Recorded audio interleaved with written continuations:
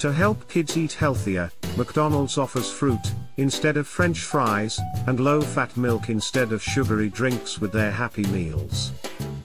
But did you know, in 2014, McDonald's tried to get kids to eat broccoli that tasted like bubblegum. Kids hated it. McDonald's says kids were confused by the taste.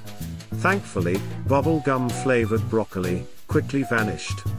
But it remains a tasty, fun fact. Now you know.